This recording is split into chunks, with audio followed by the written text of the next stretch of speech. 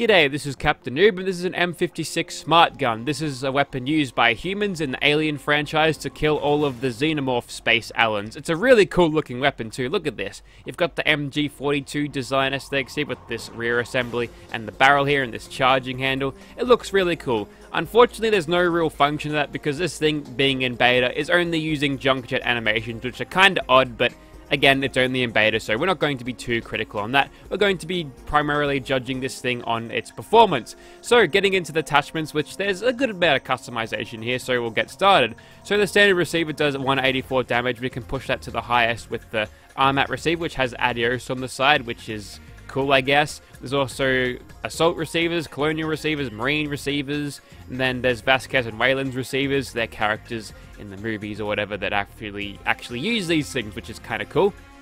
Moving on to the barrels, this will get you firing different sort of things. So the flame bolt barrel gives you a little bit of a flame effect to your shots. You also do a little bit of fire damage, which uh, which the, the, game is programmed not to even use that. That's left over from Skyrim that they didn't use. All of the energy weapons do the zappy zap thing for damage. So no one can actually resist that unless they've been, you know, modified to be programmed to resist that as far as I know. So nice extra 45 damage there. You've also got an electro laser barrel which does more of the uh, energy damage. You've also got a D receiver, the 57D, and the D stands for dirty as in it fires a projectile which explodes into tiny radioactive splints, hence the enhanced damage and also the little bit of radiation attached to it, which is nice. So going performance wise, I think the hardened barrel will be the best, but I'm going to use, be using the flame bolt and electro laser as well because they sound cool.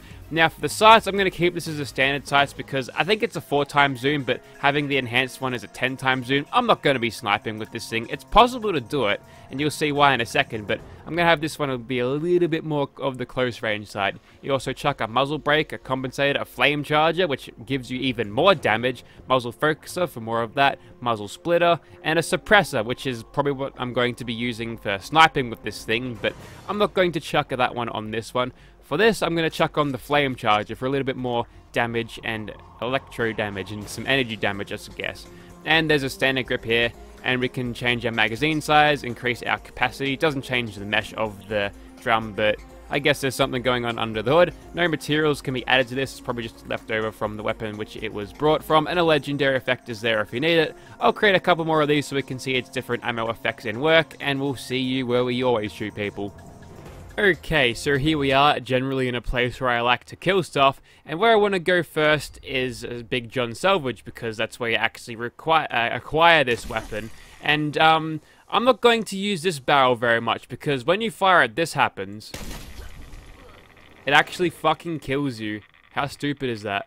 Yeah, something's wrong with that. If it was a normal ballistic gun, it would be um, misfiring. I just wouldn't fire a shot because it's being stopped before it even gets out of the barrel. But for this mod, since it's an explosive projectile, it's uh, a little bit more dangerous to me. But anyway, this is the one with a suppressor. This is one with an enhanced long scope so I can snipe people with. And hopefully with this, I can actually snipe away at Gerald before he can even hit me. So he's going over there doing God knows what. So we can snipe at these guys. I think this is just so equivalent to a long scope. As you can tell, the accuracy is weirdly bad. I don't know.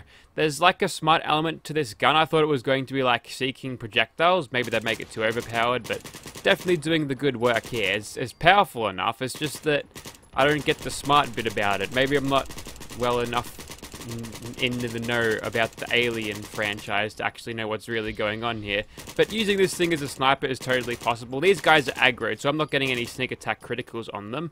But if they're alone, we should be. I'm actually haven't been able to nail any sneak attack criticals. So, looks like Gerald's ready to go at the start of this thing. So, as you can tell here, this one is having the same problems with misfiring. You can tell the projectile's just not making it sometimes, so I don't know, adding a projectile override usually fixes this, but this one's broken too. This is the same thing that was happening with the, radio the radiation barrel before, that's why it wasn't working.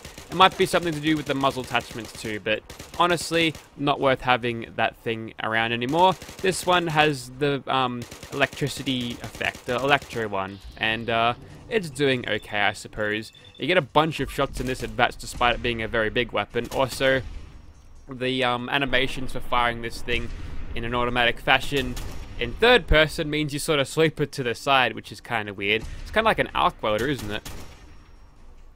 we're doing pretty good uh, damage against Gerald here. He's going to mutate in a second, isn't he? No, he's not. But that critical there is absolutely mincing him. Keep on hitting him. We might actually get him. Yes, cool lightning gun. I did give this one a beam splitter too, so it's like a lightning shotgun. And as you can tell, it paralyzes people, and you can ragdoll them with it, which is fun. But if you want to chase legendary super mutants across the world, or if you don't want to, then it's probably a recommended thing not to attach this thing. Um, I think the paralyzing effect on this is a little bit unnecessary, but whatever. We're doing pretty good so far. I expected this thing to be very powerful, and it is delivering, but it's not completely overpowered. There's some dumb stuff here and there that uh, shouldn't happen, but gonna just use this thing. I'll burst fire it to make sure I don't kill myself. And apparently these guys uh, get taken down in one shot by this, which is odd. It's weird how I was complaining about this thing being bugged before, but now it's not. That's really weird. Okay, so the reason I did come and run the gauntlet first is because there's actually um, a pickup point for this weapon. This You can easily grab it from here.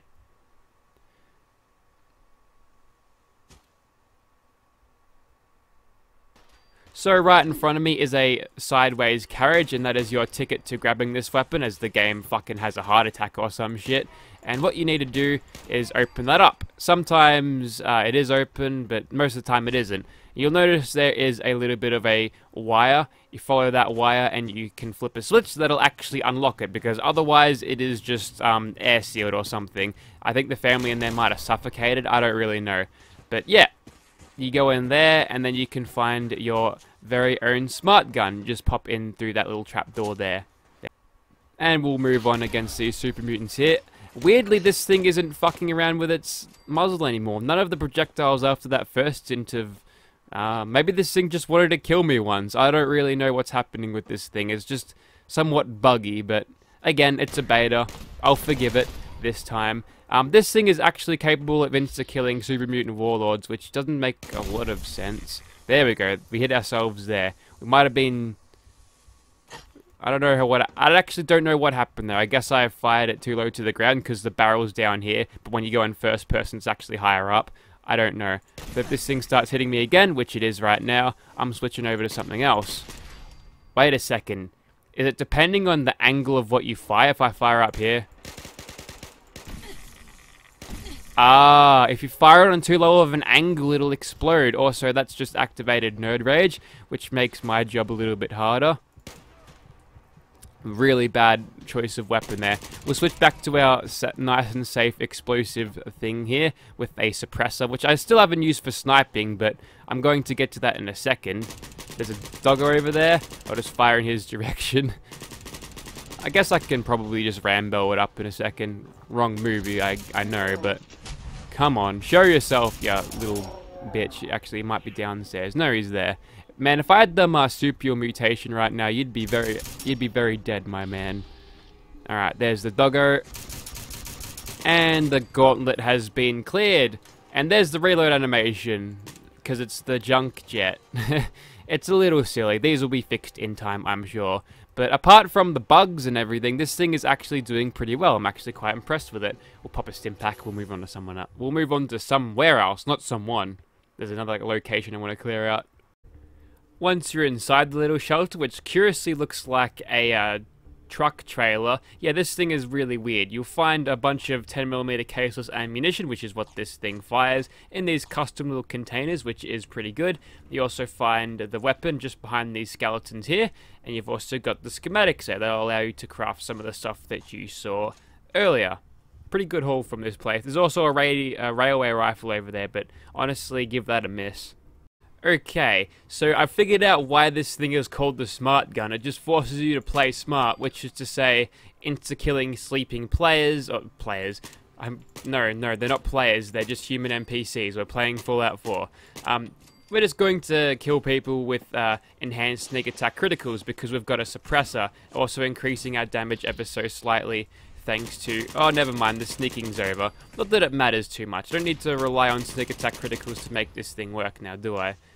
Is that guy dead? He might be dead. Oh, you've gotten yourself some power armor. Good for you. Let me just quickly kill ya. Yeah, a lot of good that armor did. It just gets blasted off in a second. And yep, don't have to worry about sneaking. My, my plan to play this smart has failed, so I'll just play it like this instead. But I guess sitting back here and just plinking at my targets whilst they can't possibly reach me is a good idea. They're going to try to throw grenades. They're probably going to actually get nice and close, but I'm super tanky. It'll take more than a few grenades. I actually shot that grenade out of the air, and then I almost killed myself due to splash damage.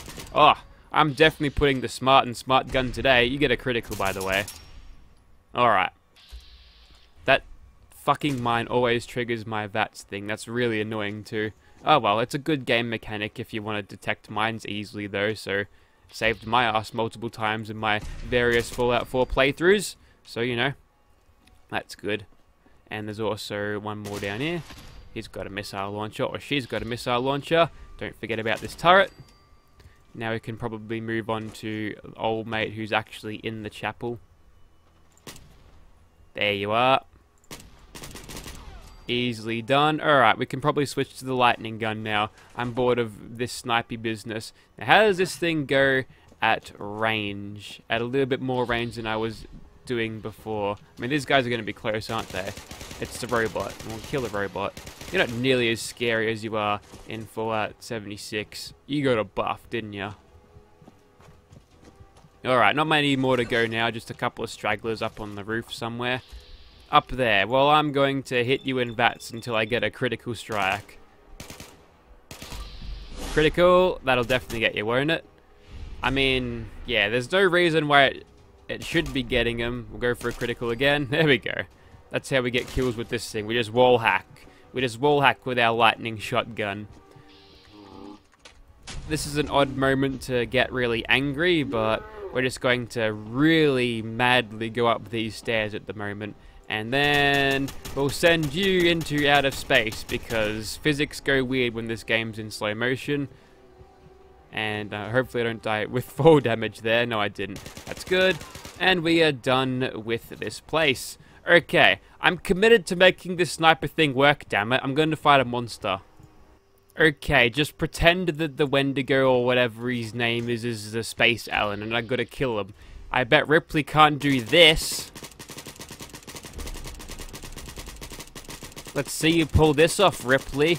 You couldn't full auto hose down a xenomorph like me. You ain't got nothing on my angels. okay, I think you get the point of this weapon at this point. This was the M56 Smart Gun. It's a cool weapon. It's a cool weapon concept. It's a cool weapon in its own universe. Uh, definitely worthy of a download. But if you're waiting for this thing to be a little bit more polished before your um you put it into your game, I wouldn't blame you because this thing right now it's it's more of a it's it hasn't really gotten warmed up yet, I think. There's a bit more work that needs to be done to it before it becomes a nicer product, but if you'd like to see this game, this thing in your game anyways, check out the description. I'll, there'll be a link down there. Thank you very much for watching.